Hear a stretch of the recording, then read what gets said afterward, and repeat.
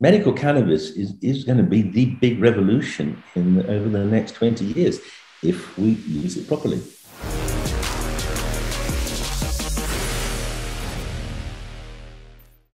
David Nutt, welcome to the show. Good to be with you.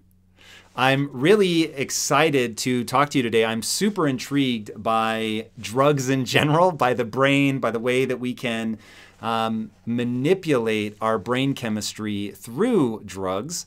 And your latest book, Cannabis, makes a pretty compelling case for all of the interesting things that uh, marijuana can do for us. And I'm curious, why do you think, like when I look at the stack of things that you talk about in the book that um, cannabis does, controls, may potentially help with in the human body experience. Um, it's a it's a long list. Why is cannabis so active? Well, of course, we discovered that in recent years because the brain makes its own molecules like cannabis. It makes several of them. We've identified one called anandamide, one called 2-AG. And it turns out that those chemicals work on receptors, the same receptors as THC, the active ingredient in cannabis, works on. And, uh, and, there was a mystery for 20 odd years when we the cannabis receptors were discovered. No one had a clue what was going on, but it turns out that the brain makes its own um, cannabis molecules, and it makes them in a very special way. It makes them uh, from nerve membranes. So uh, when nerves are activated, um, they release some of the membranes into the fluid around the uh, nerve, and they get converted into these these cannabinoid substances, and they usually go backwards, and so they affect the nerve that's releasing the neurotransmitter. So they're, they're a very novel form of what we call feedback inhibition. What is feedback inhibition? Right. So, for instance, let's put it this way: if you if a, a, a nerve a nerve fires, and the way in each nerve communicates one nerve to the next is not by electricity; it's by chemicals. Hmm. They're called neurotransmitters.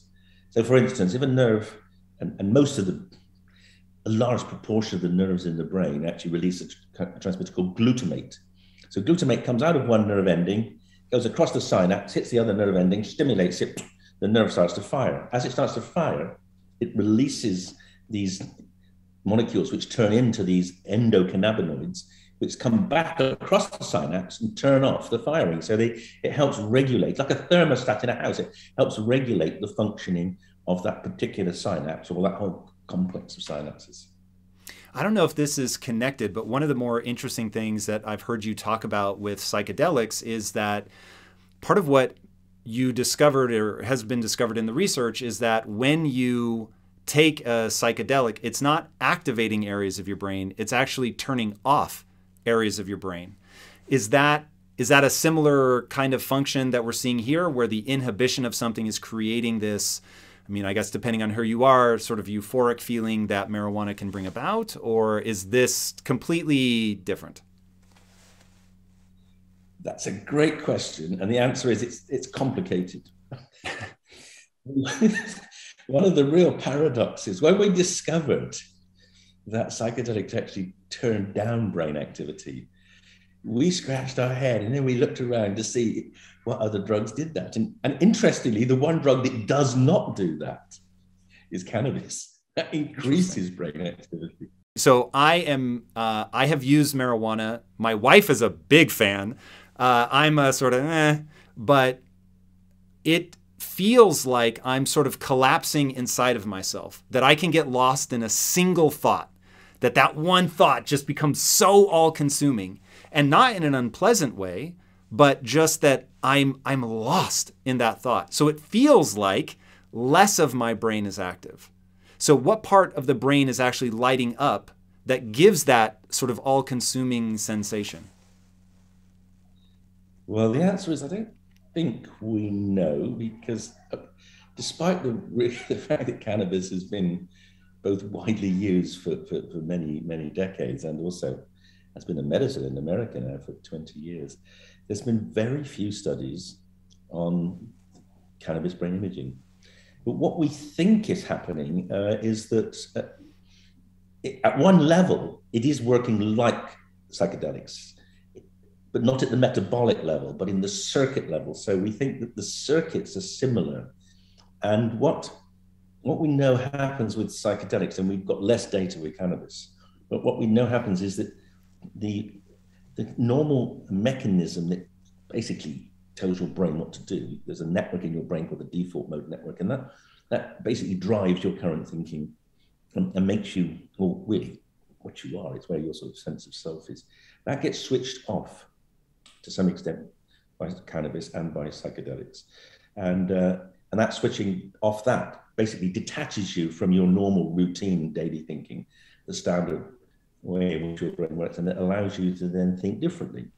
Now, in your case, thinking differently means that you get in, interested in a particular topic and you get deep, deep, deep, deep into it.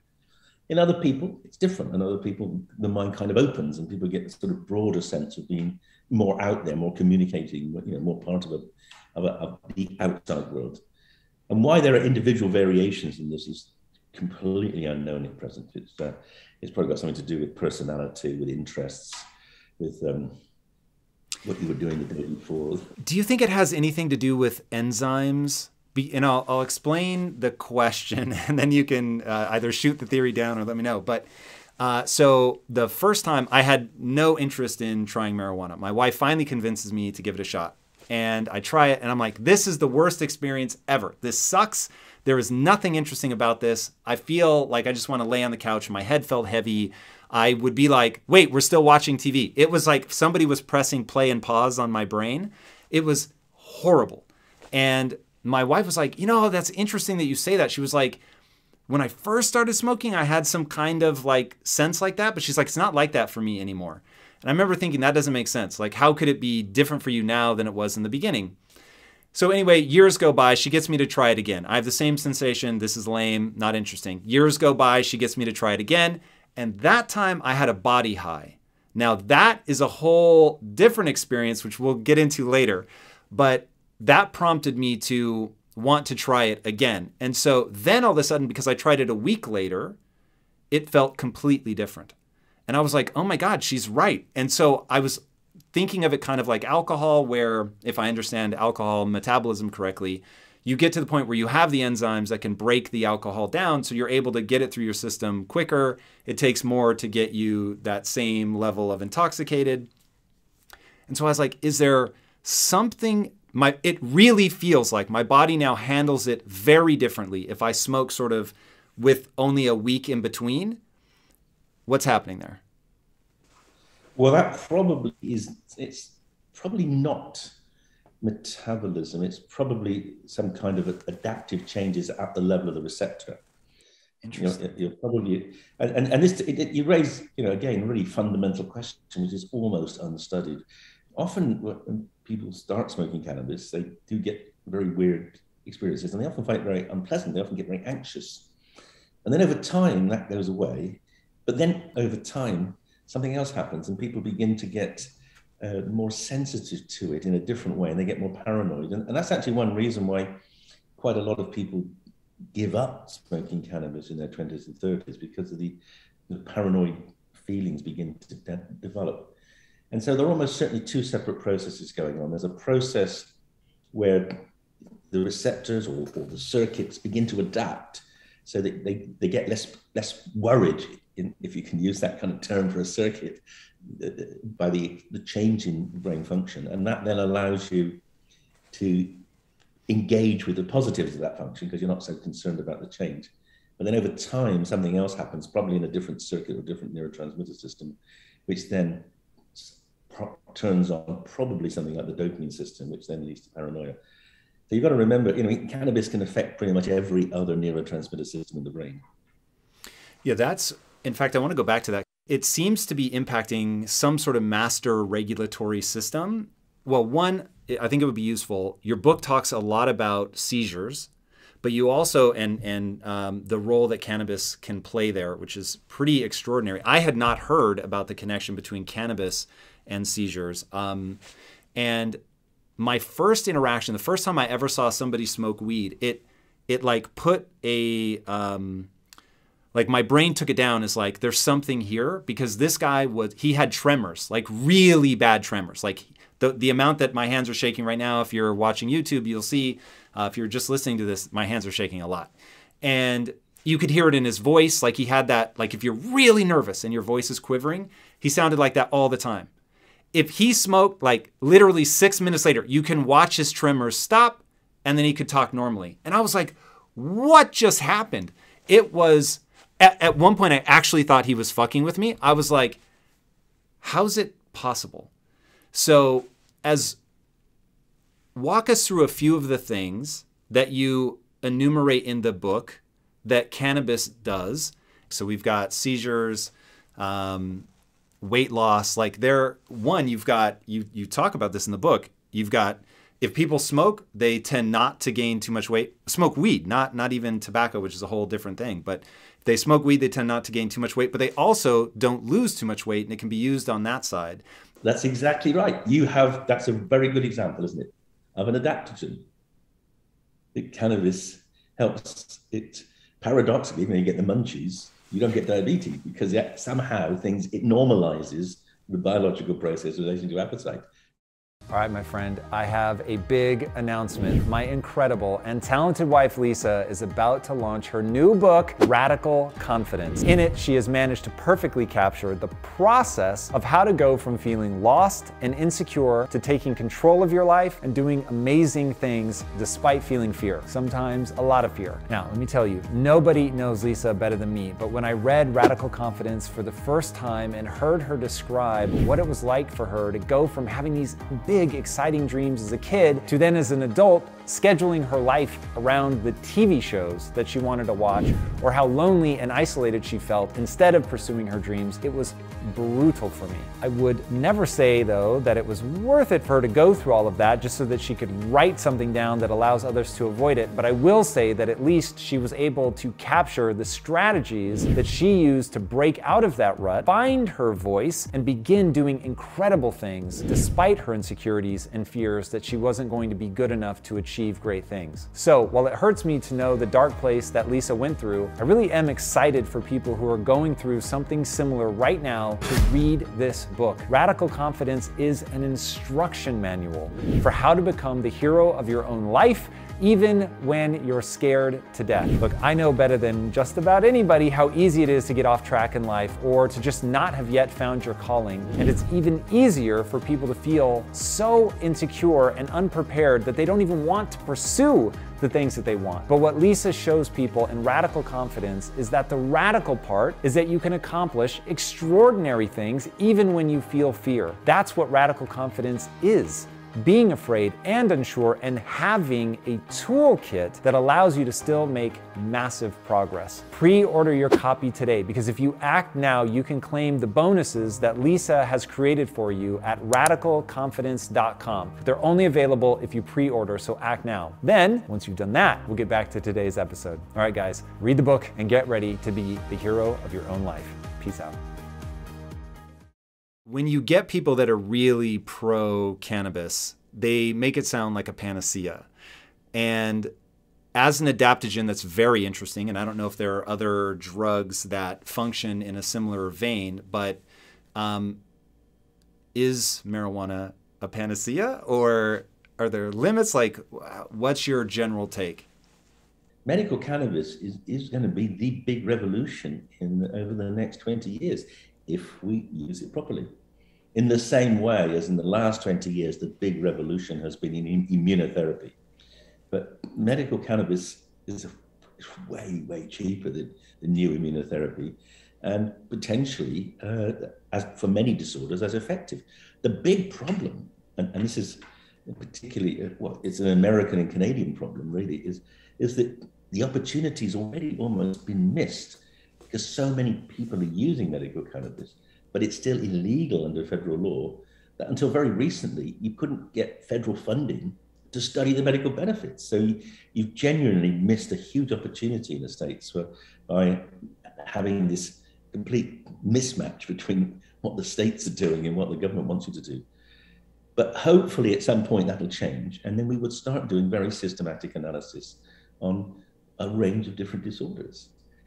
Uh, and actually, can I just tell you, that's one of the things we're doing in Britain. In Britain, we have we hardly use medical cannabis at all because we have socialized medicine, and the NHS is very is and the doctors in the NHS are resistant to cannabis, and we can't therefore go out and buy it like you can in in America. You know, we we don't have the that, the, that facility that because we you know you have recreational cannabis in many of your states, we don't have any at all. So what we, what my charity Drug Science did was we set up a, a registry. We we worked. We found some cannabis suppliers. We found some doctors who wanted to prescribe outside of the NHS. We brought the price of medical cannabis down to be equivalent to what people would buy on the illicit market. And, and we've given, we've set up this large database of people who are getting medical cannabis privately. We've got two and a half thousand people in that database now, of which half of them are using it for pain. So that's one fifth of the total number of people in the world who've had measures of pain taken on cannabis. And 44% of the people who were using opiate painkillers before they went into this study have stopped using them. 44%, nearly half. Now That's just absolutely transformational. So one of the interesting things we've done uh, in the last year, again through this charity drug science, is is to evaluate different forms of cannabis uh, for pain, and we and we've compared them with uh, other drugs like antidepressants, gabapentinoids, and opiates, and also the simple painkiller called ibuprofen. And, and we used a special technique called multi-criteria decision analysis, which allows us to properly evaluate both the, the benefits in terms of pain relief and in terms of quality of life, and also the benefits in terms of safety. And when we did that, we discovered that the best overall uh, product for pain relief was actually a combination of THC and cannabidiol.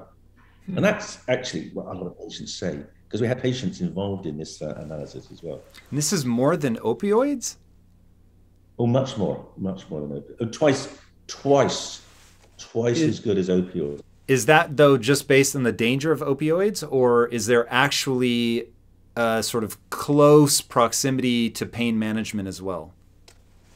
Bit of both. So that combination of CBD and THC. So you're looking at maybe you know 10 to 20, 30 milligrams of CBD and five to 10 milligrams of THC.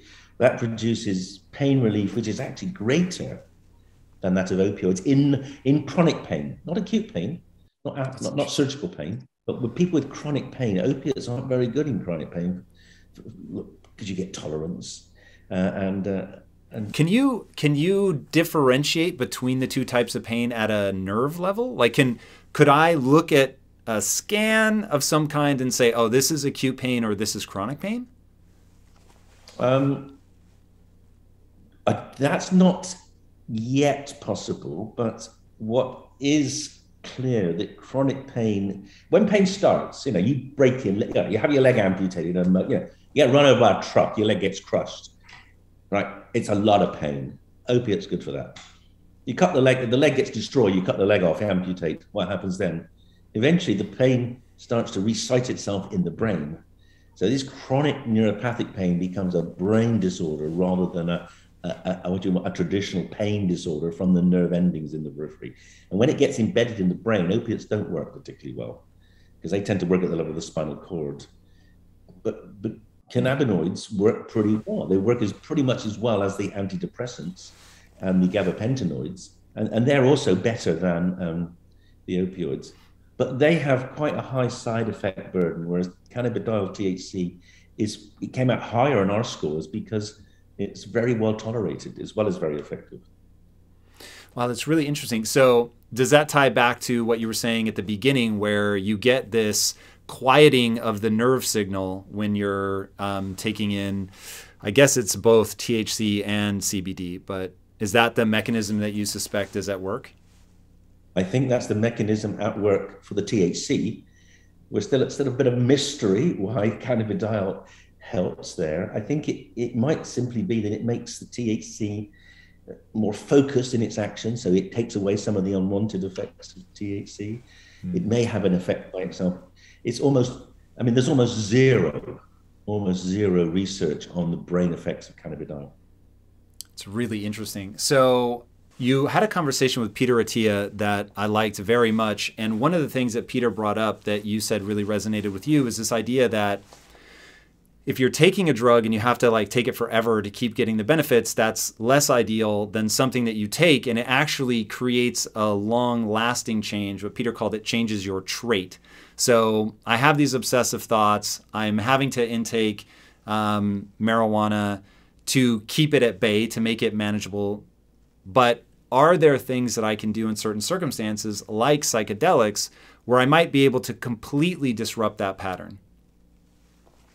Well, that's what we believe. And In fact, we're doing a study now of, uh, of psilocybin in chronic pain, trying to see if we can, you know, as, as you suggest, break down those repetitive thinking processes which have become overlearned. And, and, uh, so you could see pain as a thinking habit in the same way as twisting your hair or picking your nails as a motor uh, habit. Yeah.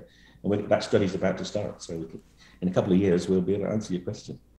Hello, my friend. You know that I believe success requires you to see failure as the ultimate learning tool. Success requires you to be disciplined and gritty and to never ever quit on your dreams.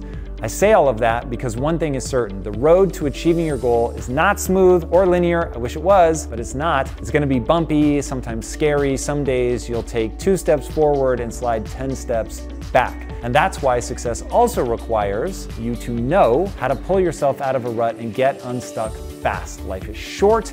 You can't be messing around with your goals. You've got to make progress every single day. So I've pulled a class from Impact Theory University called How to Get Unstuck which you can watch for free with the link on your screen or by clicking below. When you join me for that free preview of that workshop from Impact Theory University, I'm going to teach you my strategy for how to understand exactly where you need to be going, how to identify the obstacle that's blocking you, and the best way to make the most progress towards that goal and keep your momentum. All right, click that link and let's get to work. All right, I'll see you on the inside.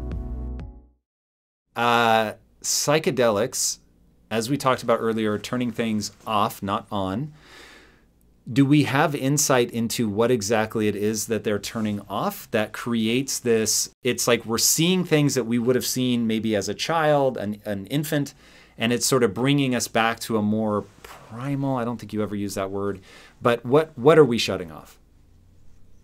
So yes it's the way the brain works is uh, to create hypotheses if, let's take the example of vision, because that's the easiest one to explain. Your brain is not a camera.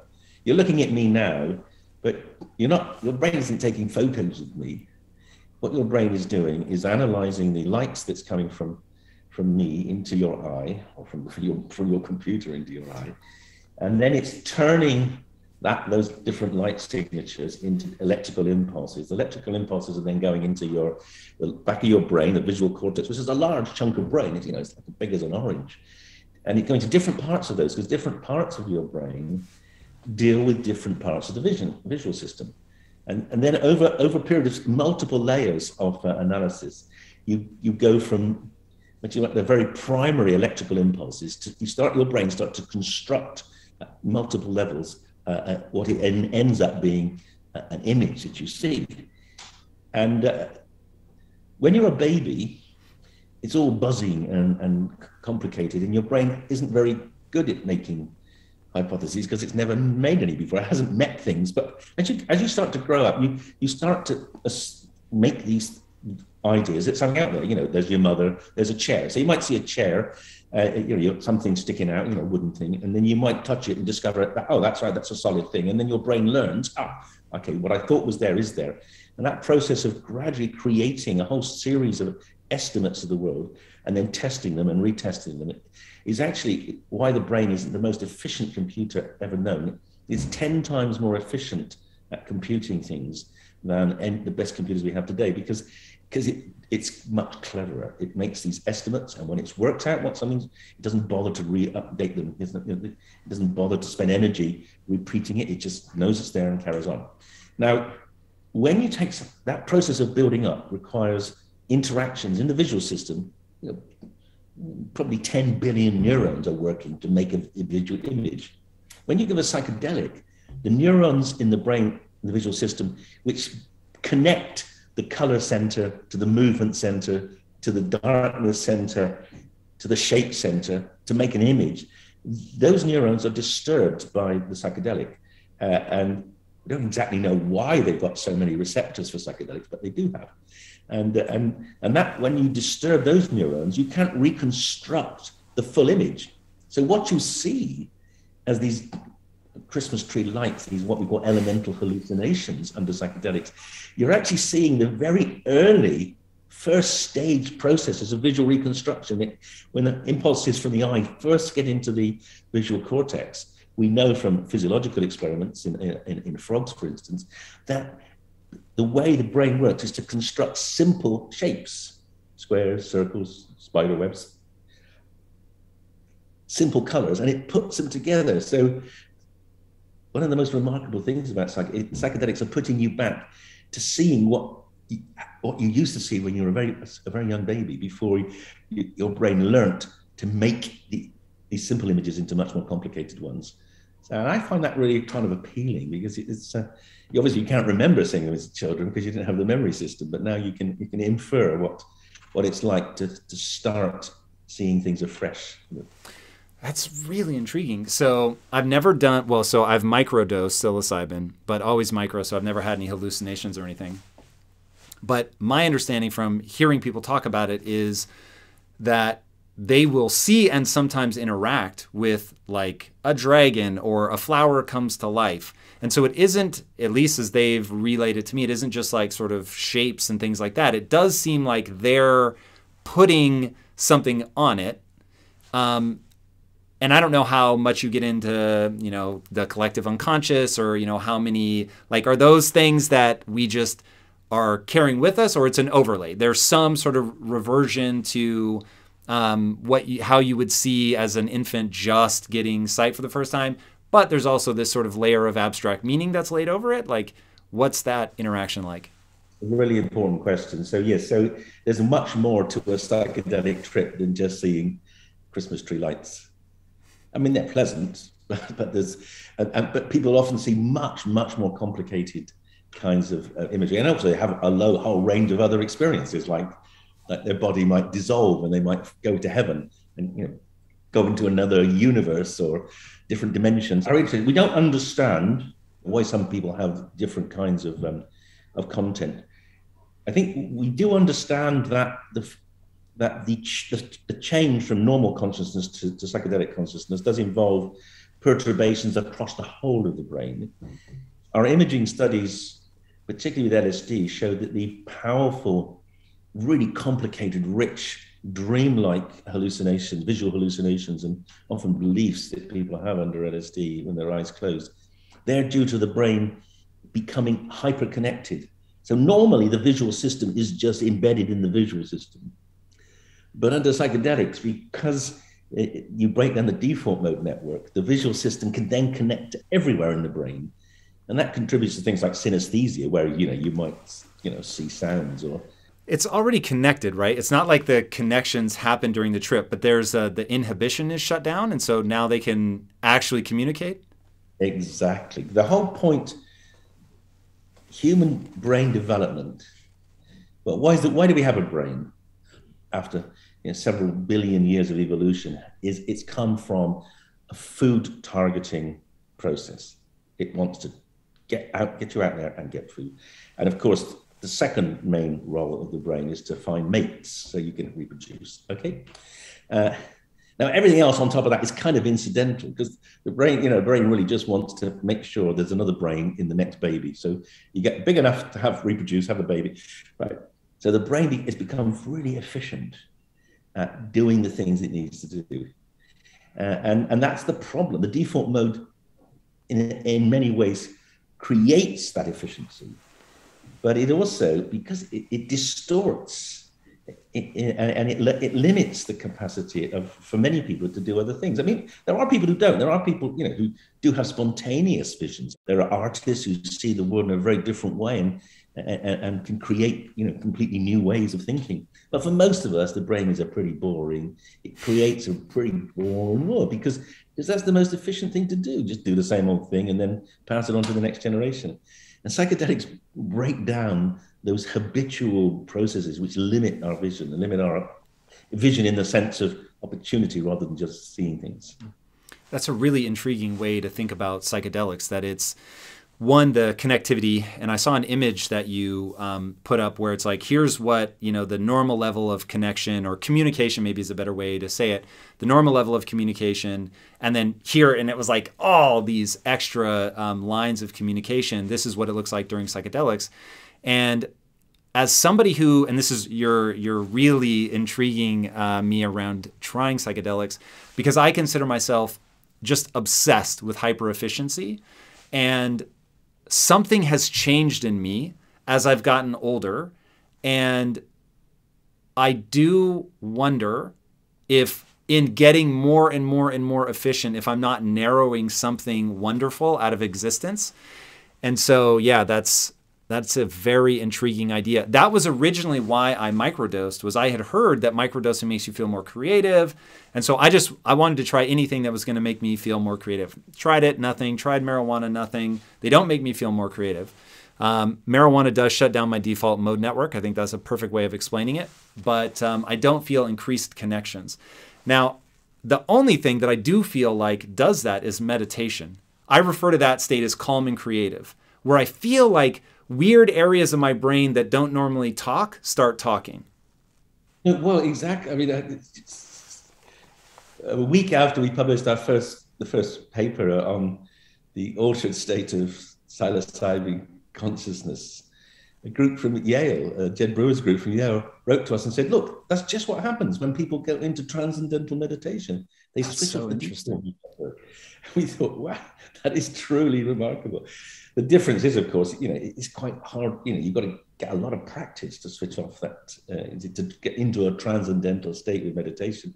But if you do, you're actually pretty close to that, uh, the same state as on psychedelics. You are, you're, you're, you're disabling, and that's what you're trying to do in meditation. You're trying to disable that inner mind, the default mode network. You're trying to disable it to allow you to think differently because it doesn't want you to think differently. It just wants you to go to work and get up and have, you know, I mean, and you've got you've got to fight with it to disable it with meditation and psychedelics do it a bit more easily. It's really really interesting. Talk to me about safety. So you rank drugs by order of safety. Anybody listening to this conversation could probably um, take away that you know we don't think there's any danger in all of this. Is there danger in this? Is there danger in marijuana? Is there danger in psychedelics? Um, yeah how worried should people be well, there's danger in all drugs. When we look at the deaths from drugs in your country, in my country, tobacco, cigarettes are way the top of the list, followed by alcohol, and then then followed by opiates, and at the very bottom of the list, psychedelics. And, and that though that takes into account like the totality. So I would, in fact, I'm curious if you had the same number of people smoking, the same number of cigarettes, the same number of people smoking marijuana, the same number of people doing opiates, like then does it does it still come out the same or are there some that are just way more deadly? Like is marijuana 10 times more deadly? It's just way fewer people smoke it? No, no, no. Well, it's the other way around. Uh, the fentanyl is 10 times more deadly. In terms of harm from the drug to the user, fentanyl, st- other strong opiates like heroin, crystal meth, they are the drugs that kill the individual. Uh, lower down, alcohol, tobacco, and the very bottom, drugs like magic mushrooms, like LSD, like MDMA, they have much lower rates of harm to the individual. Now, cannabis is a bit between the two. Cannabis is less harmful than tobacco, but more harmful than psychedelics. And, and that's really because people tend to use cannabis much more than use psychedelics. Most people don't use psychedelics more than a few times in their life. And if you try to use it a lot, you get tolerant, so it doesn't work. And so it's, it's no point. Whereas a lot of people who use cannabis do use it maybe for 10 or 20 or 30 years. And, and the more you use a drug, the more chance there is of it causing harm. And what is the mechanism of harm for cannabis? So, very few deaths. I mean, older men with cardiovascular heart disease, hypertension, it does put your blood pressure up, you know, and get, you know, you can see that with the red eye. So there are people, you know, occasionally get very, very stoned and then a heart, they have a heart attack. I mean, they might have had a heart attack anyway, but it's not good for people with heart disease. Um, uh, and that, that's the main harm. But then the other harms, in terms of dying, in terms of other harms, there's dependence. If you get dependent, well, it can be um, really quite upsetting and quite disabling to your life. So over the last 10 years, we've done an, an enormous imaging study. We've studied uh, over 100 people with opiate and cocaine addiction and alcohol addiction and, and compared their brains with people who haven't had such an addiction. And before we started, my researchers said, Well, what are we going to do about cannabis? Because everyone smokes, well, half of them smoke cannabis. And I said, Well, what we're going to do is we're going to divide the group, the drug using group up, into those who use cannabis and those who don't. Because you get rid of cannabis users, you're half the number. And I'm, I said, I'm going to bet you that the cannabis users have better brains than the non cannabis users. And I was right. Interesting. Cannabis use is. Why did you bet that? Well, because cannabis is an adaptogen. Cannabis is an anticonvulsant. Cannabis is possibly neuroprotective against brain trauma. I bet it. I bet that because I, it just seemed to me that, you know, from what I knew about cannabis ten years ago, it was likely to be probably neuroprotective. And what was the the mechanic that you used to judge that? How how did we say it's healthier? Brain volume. What metric? Brain volume. Brain volume. So alcoholics shrink the brain. You know, alcoholics' brain shrinks as a result of the toxicity of alcohol, and cannabis protects against that. But since why, then, why then is weed known for like, oh, you're you forget, it's bad for your memory? Is that just a cliche that isn't true, or is there something there? No, no, of course it's there's truth in that. If you're stoned all the time, yeah, you you're intoxicated. Same as alcohol. You're intoxicated all the time. It, it, will impair memory. It will impair, but it doesn't produce any enduring damage to the brain like alcohol. And alcohol is the only brain, the only drug you can say on an X-ray. Oh, look, that's for a CT scan or an MRI scan. That's a, that's a damaged brain. Even even you a cocaine and crystal don't damage the brain the same way alcohol does. Whoa! This recent study out of Harvard um, School of Public Health, they looked at people who drink alcohol and with or without cannabis, and they looked at liver cirrhosis. The people who use both have much, much lower rates of cirrhosis of the liver than the people who just use alcohol. And they're now doing trials. It may be that cannabis can protect or treat alcoholic liver cirrhosis. It may be an adaptogen in the liver too. Okay, that's uh, this is where it starts to just seem too good to be true. So if and I know that it hasn't been studied, so you're going to be guessing here, but when we think about it being an adaptogen in the liver, what I know about cirrhosis, and maybe I'm just wrong, but that it's scarring. So I'm curious as to what your guess would be on the. So we understand the in, inhibition where um, cannabis is going to trigger the release of a signaling molecule that's going to tell the nerve to stop firing. But if we're punishing our liver by drinking too much alcohol, we're running so much toxins through it that it begins to scar. What mechanism would the cannabis be using to protect? That's so confusing. Cirrhosis is caused by uh, the production of what are called free radicals from the breakdown of alcohol. And um, cannabis, particularly cannabidiol, soaks up free radicals. It's anti-inflammatory. Wow. Man, okay, so we you said at the top of the thing that we should have been looking at this stuff all along and that we've missed a lot of insights.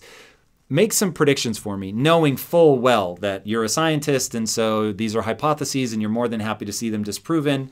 Um, but where do you think, like, as we spend, let's say, the next decade really looking at this stuff, what are we going to find? Well, we're going to find that medical cannabis is uh, the preferred treatment for chronic pain, for quite a few forms of anxiety, for people whose PTSD hasn't been remedied by MDMA or, or psychedelics. For people with chronic inflammatory gut disease, like Crohn's disease or ulcerative colitis, a lot of people are using it and getting benefits there. We're probably going to find it's also got enormous utility in some cancers. One of the most horrible aspects of the of the uh, bans on cannabis was that there was a systematic attempt to stop the publication of papers showing that cannabis had anti-cancer ability. Back in 19, I think back 1978, so the most senior lung physician in America had a study which showed that cannabis smoking had less lung cancer than the normal population. What? And that was I was literally going to ask you about um, lung cancer.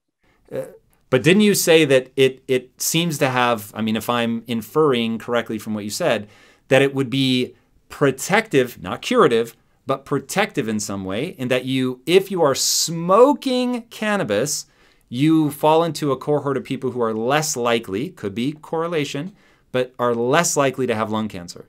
Is that true? Yeah, that was that was that was the, the that was the epidemiological data. It's never been trialed as a as a protective thing. But what we say, and what I say in Britain, in Britain, most people who smoke cannabis smoke it with tobacco. I say don't do that. Do what the Americans do and smoke it neat. But it's it's harder for us to get neat cannabis here because it's illegal. So we, know, so but it, it's to my mind, it's none of this is surprising given what we know subsequently. We didn't know then, but what we know now about the, the ability of of cannabidiol, etc., to have this these anti-inflammatory and, and possibly anti-cancer properties. It needs to be tested. We need to be doing lots of studies, but we're not because it's a plant product and it doesn't fit into the current model of pharmaceutical drug development. Wow. Well, David, you've certainly piqued my curiosity on this and make me want to learn even more about it. Your book was phenomenal. Where can people um, find out more about you, about your um, nonprofit? Yeah, what should they do to engage? So the best thing is to just go onto the website and look up drug science .org.uk, and then you'll see my charity. You'll see all, all the publications. There's there's lots of publications about cannabis. All I've talked about now in terms of our research is on there for free. There's slide sets. There's podcasts of, me talking about this, and yeah, and then become a follower because drug science is you know we, we tell the truth about drugs, uh, and the very very few other places you can get that kind of truth.